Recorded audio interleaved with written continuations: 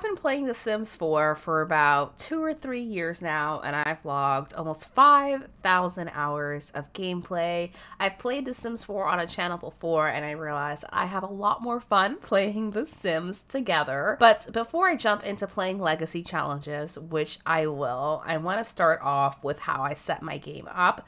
The Sims 4 was pretty recently made free, so I want to give you some tips, tricks, and tutorials for getting started with modding your gameplay. The first thing I will disclaim is that your game will not look like my game. I use Gshade, and later on I'll tell you more about mods that are a bit more in depth, but this video is for Sims 4 beginners. Maybe you just downloaded the game, and I remember being in that situation, realizing that there are things that I want in the game and having no idea how to go about and do it. There are plenty of tutorials, and I found those helpful, but I want to have my own spin. For now, we're going to stare at this screen for just a moment while I break down to you what Sims 4 mods are, and then I'll walk you through several things like which mods I think that you should get as a beginner, where you can download mods, how to download mods, and what to do when your mods break. But let's start with why you would download a mod. The Sims 4 is a really fun and amazing game. I have a ton of fun playing with The Sims 4,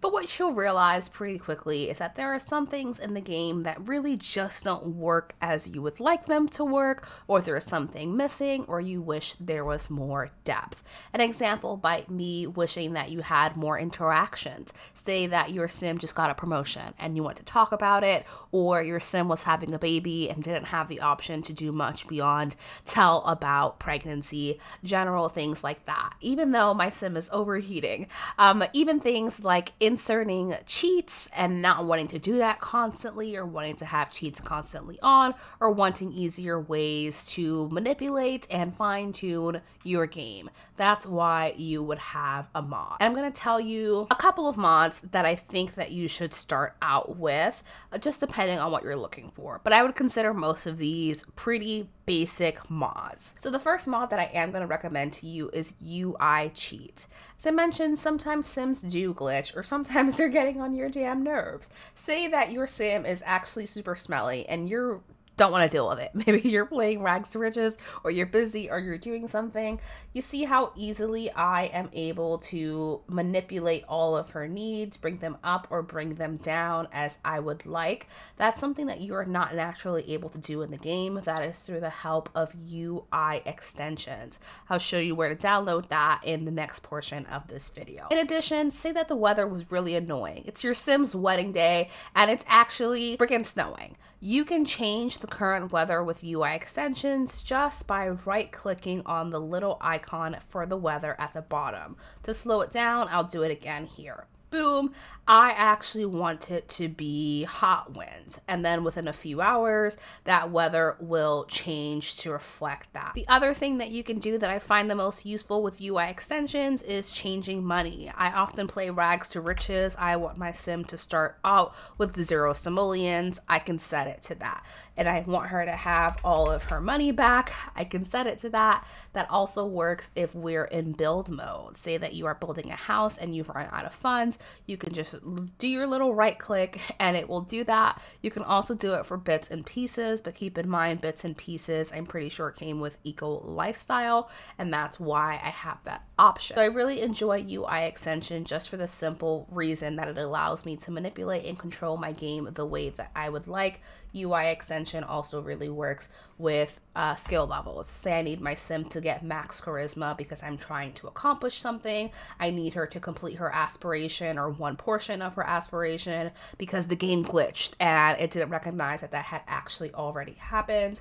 And you're also able to do this with ages. So I'm telling a story and I want to add 15 more days to her lifespan. Zoe is now older. So that's why I encourage you to check out UI extension. It also allows you to right click click on traits and remove it. Say that my sim had a fear of something, I could just do that little right click and it would go away. The next mod I would recommend to you is MC Command Center, and this is for kind of manipulation of your Sims and your game. You can also do things like change your Sim's age, say you're having a birthday party and you're trying to age another Sim, but you don't have a cake. You can just set their age. You can do this for any Sim. They do not have to be in your household. You can still you can kill your Sim. And you can teleport your Sim. This also works for posing, by the way, but that is a separate video.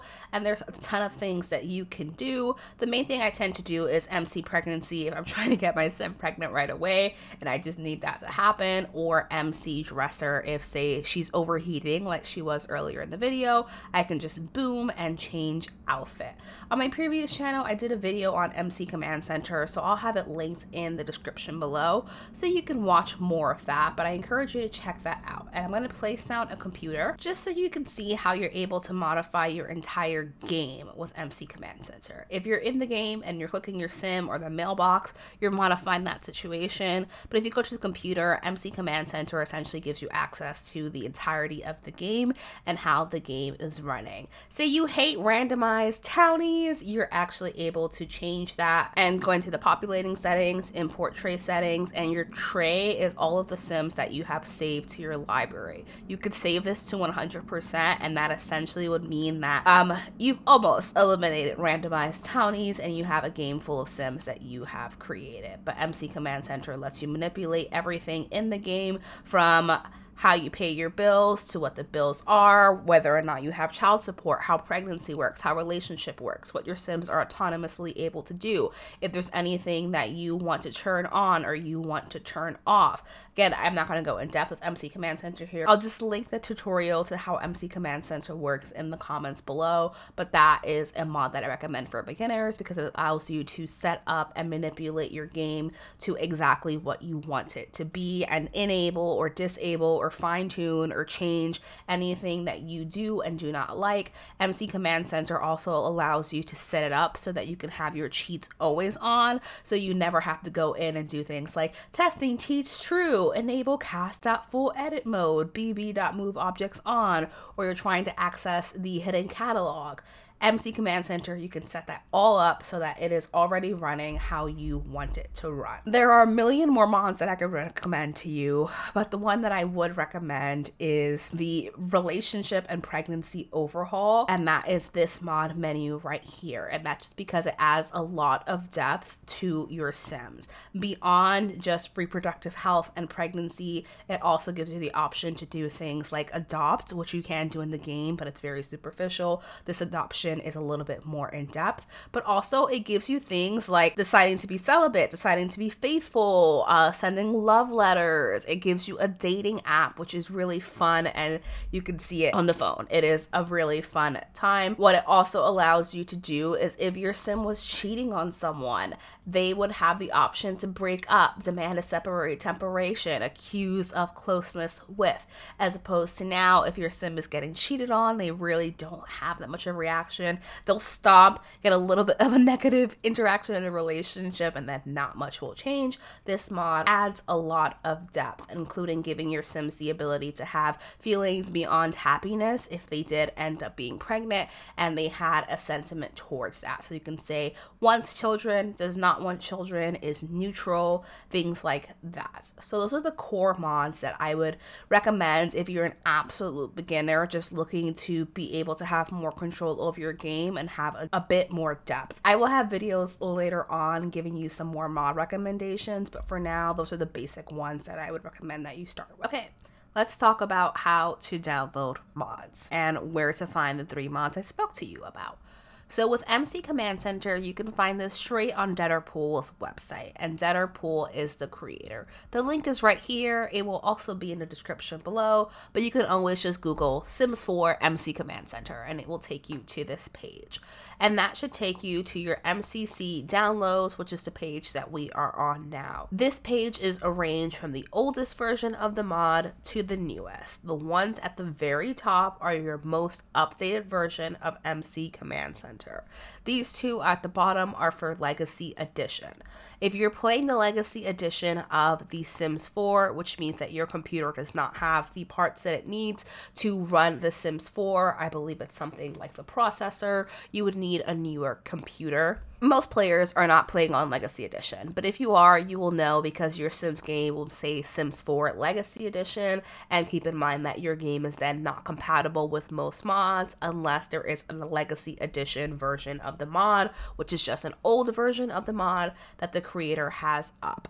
But for everyone else, you're going to download the MC Command Center package. It's going to go straight into a zip, and you're going to download MC Woohoo. MC Woohoo is what allows you to do things like risky woohoo and manipulate things related to pregnancy and woohooing in The Sims 4. So you're going to download both of those. Just click, and it's going to download straight away, unless your computer is blocking it, in which case you'll get a little notification that says blocked for your safety, or it'll be a little button here that says uh, like accept or something like that. You can find UI extensions on Patreon. It is free. Just search Sims 4 UI extension. This mod has not been updated since August 30th of last year. It still works perfectly fine. There hasn't been any major breakage. It works perfectly fine, but know that UI extension has broken in the past before. The UI is just this section here. It is over here. It's there uh, skills or traits, like these little boxes here. And then if you have an event, there will be a menu here that pops up. That is your UI. All of these things are your UI. So if you're having any glitches with that, that probably means that the UI is outdated and you're going to have to wait for the update. And in that meantime, you'll remove that mod from your folder. I'll show you how to download in a moment. Just like MC Command Center, you can go through and read. It's just giving you a tutorial. It's essentially right clicking and left clicking on whatever it is that you want to change and you will just download. It's going to download straight into a zip. And our biggest mod is the relationship and pregnancy overhaul mod because this changes so many aspects of your game. This is the creator right here. So all you're going to do with this mod is you are going to read this if you want to. It's telling you what it is and what each folder is in case you don't want to have certain aspects of the game. Say that you really don't want to have miscarriages and pregnancy loss in your game. You can remove that folder from the mods, but this folder here is the entire collection. So you're going to boop and download that. Those downloads are now in your downloads folder or wherever you have your downloads set up to go. What I like to do, obviously I'm on Windows. If you're on Mac, it's a similar thing. It's going to look different. It's still be in your downloads folder. And you're going to go to your mods folder. Now the mods folder traditionally exists in your documents folder. Then you'll have EA then you'll have The Sims 4, and then you will have mods. My mods folder is full, but yours will be blank. It will only have this resource document. You might be saying to yourself, but Shar, I don't see a mods folder. I don't see this. You need to run The Sims 4. Darling, if you've just downloaded The Sims 4 and you have not yet opened it, you need to open it in order for these folders to show up. Then close your game. You never install or remove mods while your game is open. You close your game and you are able to see this folder. So I'm going to go through it again. Documents, electronic arts, The Sims 4 mods. That's roughly where it should. Now, when it comes to putting in mods, you can see that I have all these folders. It really is just a matter of dragging and dropping. But what you're not going to do is take this folder and put it here. Uh-uh, honey. That's not going to work. You can see that it has a zip over it. That means the mod, the folder is zipped. You need to open it first. And the way you open it is just double clicking it and boom, here's your entire MC uh, command center. And these are all of the script files that you need. You could just theoretically highlight all of this and drag it in to your mods folder. I would not recommend doing that. That's going to get really, really messy. What I like to do is have one folder where I keep that in. So you can see that my MC Command Center folder is this one, which I just called MCC. Open it and then you just boom, drag all of the files in there, and that becomes your MC Command Center. The next thing you'll need is the Woohoo package and the Woohoo script package. Same thing boom, copy it in to that folder, straight into wherever you just put your MC Command Center scripts. And that's it. The mod is downloaded. That is the same thing for things like UI extension. I have a UI extension folder and you can see the package and the script are in there. You always want to download both. Listen, whatever's in the folder, you put it in unless it's like a README and a screenshot. You need the package and you need the script. It's the exact same thing for the relationship and pregnancy overhaul. Just like with MC Command Center, you are going to, I always shift click. So click the first one, then shift click to the bottom one. It will select everything and you just drag it over to whatever folder you created in your mods folder. But let's talk about organization of your mods and how you do it, why it's important, and where you could go wrong. Like I mentioned, I always put my files into a folder within my mods folder. That is completely fine. But what you cannot do is put your mods into a sub what does that mean? Say that I have this creator here, A. Harris Brittany, and A. Harris Brittany does hairs and clothes and makeup, let's just say. And I had A. Harris Brittany folder. I could have an A. Harris Brittany folder. What I could not do is then create a folder within this folder and say that I want to have all of the hairs in one and I want to have all of the clothes in another within this A. Harris Brittany folder. Absolutely not. That is not going to work. It will not show up in your game because you are putting it within a subfolder. Mods cannot go more than one folder deep. So you can have your mods folder and then you can have a folder within that of the creator, but you cannot have another folder within that. I can't have a sneakers and accessories and hair folder within this Aretha folder. It's not going to show up in my game. It's not going to work always no more than one folder deep. And one folder, again, I'm emphasizing this, is just a folder within your mods. You cannot go further. You have your UI extension folder, but you do not have another folder within that folder. That's it. That's what you need to know about downloading mods. Let's talk about mod organization and why it's so important. EA does not support mods, and like I've emphasized before, when you download mods, it is at your own risk. Most of the time is safe, but do not be stupid. Don't go downloading files that you don't recognize from websites that look sketchy. You always want to go to reputable creators and you want to go to places that are not going to harm your computer and not going to harm your game. Again, 99% of the time it's fine. I'm being very cautious here and encouraging you to be mindful of this. Now, because mods are not officially supported by EA, whenever the game updates and they're changing codes around to prepare for a new pack or bring in new content, that coding can also affect your mods. It's usually not going to affect things like your custom content, like clothes and hair, but it might affect your mods. And what that means is that the new code that they put into the game on the back end might make it so your mod no longer functions or certain parts of the mod are broken. So when the game is updated, there are a few things that you need to do. Number one, before you update your game, you're gonna take your beautiful little mods folder and you're gonna move it somewhere else or you're going to back it up because you don't wanna run your game and be like, oh shit, my mods folder is broken. Then you're gonna update your game and you can move your mods folder back in. Keep in mind that most of the time your mods should be fine, but you might have a mod that is broken or it's not working anymore in the way that it was before the update, in which case you're going to need to wait for the creator of that mod to update it and you're going to remove that mod in the meantime. Now, hopefully it's pretty straightforward for you in that it's really easy for you to identify which mod it is that's broken, right? Say that it is your UI your UI is glitching, this has like weird overlays, or things are being blocked off, or the whole thing is purple. Pretty easy for you to guess that your UI is broken. Or it's a specific mod that you use within a specific circumstance, and that mod, when you are using it, no longer works. That'd be great. Sometimes that's not the case, and sometimes your Sims are acting weird or doing something and you don't know why.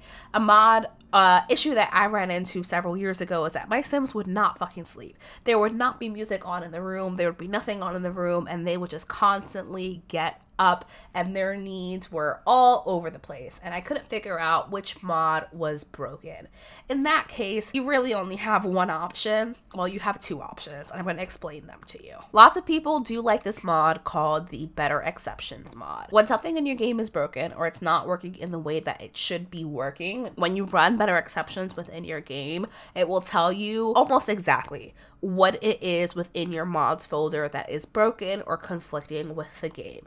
That's one option, although I would be very transparent and tell you that the Better Exceptions mod uh, was pretty strenuous on my computer and I found that it didn't always work. So the other method, which I'm really here to tell you is so fucking annoying and one of the only ways that you can find out is to go through and remove half of your mods open up your game and see if the issue is still occurring. If it's not, then you know it's with the other half of your mods folder. So you put that other half back in and you see if the issue is still coming up. If it is, and you know it's within that, that's called the 50 50 method. And you're going to continuously do that. So you know what's within that half, then you're going to go into that half and you're going to half that until you find the mod that it is. That is extremely annoying. I hope that you never run into that issue, but that's the way that you're going to figure it out. If a mod is broken or it's conflicting, the only solution is to remove the mod until it is updates, or if it's conflicting with another mod, to do the 50 50 method and try to figure out what's going on and which mod is not playing nice. And because mods can break, that's why it's so important for you to have your mods folder organized. Again, no more than one subfolder deep. Do not drop your .rar packages or your zipped packages or your compressed files into your mods folder because they're not open. You need to open the file first and then drag the documents within that file into your mods folder and then have your mods folder organized because if you are running better exception or a mod is broken and this was just a bunch of files that you were had all mixed up you had all your MC Command Center packages mixed in with all of your custom content, mixed in with the packages for other mods. That's going to be really annoying for you to try to figure out and clean up your mods folder to where it needs to be. As opposed to you go in and you're playing with birth and the birth uh, glitches. I can know right away that the mod that's broken is a realistic birth mod, and I can just boom and delete the mod. If this package and all of its package files were mixed in with every piece of custom content that I had because I didn't organize my mods folder, I would delete the whole mods folder. Like that sounds incredibly stressful. So again, I want to encourage you to organize the files however it is that you want. The way that I do it is by creator. So I will have the creator and then I will have all of the content that I have for that creator within that folder just like this so I can know. The same thing is true with mods. Sometimes creators have multiple mods, as is the case with this creator. So I still have the individual mods in their own folder, but the title of that mod always starts with the name of the creator. So if I am running better exceptions and something is broken and it tells me it's uh, Madeline, um, a pony corset, I could manually search through my mods folder if this wasn't organized for that or I could just go into the Madeline file and I would be able to see the corset right here and I could delete that file and boom, my game is fine. It's running the way it should be. So I am going to encourage you to just keep your mods folder organized. I also have all of my skins in the same file and that's because I don't often download from the exact same creators and I like to have them here. If say you are downloading custom content, you just went on um, like a shopping spree for custom content, or you don't have a lot of the same pieces for the same creator, what I do is create a folder and I call it MISC CC. And what that does, it tells me that these are pieces of custom content that I have in my game, but I don't have more than four pieces of custom content from the same creator. That's also a great way for me to know which creators I've downloaded from before and seeing which pieces of custom content they brought out since I've last downloaded from them. Once they have more than like five pieces, they get their own folder within my mods folder. And because this is the beginner's version, let me tell you where you can download more mods. If you decide that you want to further customize your game, you want more traits, you want a dating app, you want a cooking mod, you want more jobs, you want ultrasound, where can you download mods? Number one is Curse Forge. Curse Forge is something that EA is in collaboration with, and it's your official place to go and get mods.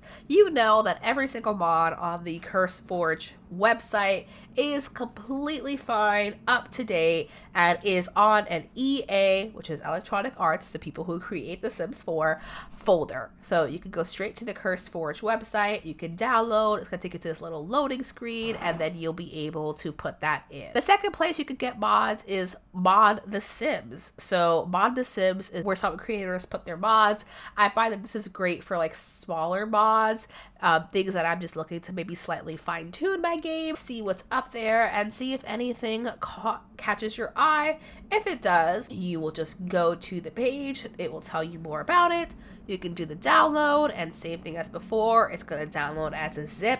You're going to open that zip, and then you're going to move it to your mods folder. And then the other place I like to go for mods, more specifically for things like poses and cast mods, is the Sims resource. Now, I have an account, so I get to just put everything in my cart, but the annoying thing about the Sims resource is that you are going to have to wait like 15 seconds for everything that you download, but you can download things like custom loading screens, presets, body presets, nose presets, poses, which you will need the Andrew Pose player for. That is where I typically go to download my mods for beginners. But because I'm not a beginner, I have several creators and modders who I know create amazing mods that I love. So I typically just go straight to their Patreon, and their mods are almost always free. And if they're not free, then they're in early release and they will eventually be free. Hey, besties, it's editing me realizing that I forgot to tell you one very important thing. When you download mods and you first run your game, you need to change your game set and then you are going to go to other and this little box here, both of these, enable custom content and mods and script mods allowed need to be enabled and then once you apply the changes, you'll have to restart your game. Once you do, you're all set. If you don't have script mods allowed or this button clicked, then your custom content and your mods are not going to show up or your script mods, which is things like UI extension, the pregnancy overhaul, that's not going to show up in your game. So make sure you have these two things checked off. And that is it. That is my beginner's guide to mods for The Sims 4. I hope that you found this video useful. I do not make these mods. I do not run these mods. I do not know anything about the coding of these mods. So if you're having an issue with any of them, please reach out to the creator of the mod and not to me because I cannot help you. With that said though, thank you so much for watching this video. I hope that you did find it helpful. Subscribe if you would like to, and I will see you in my next video. Bye!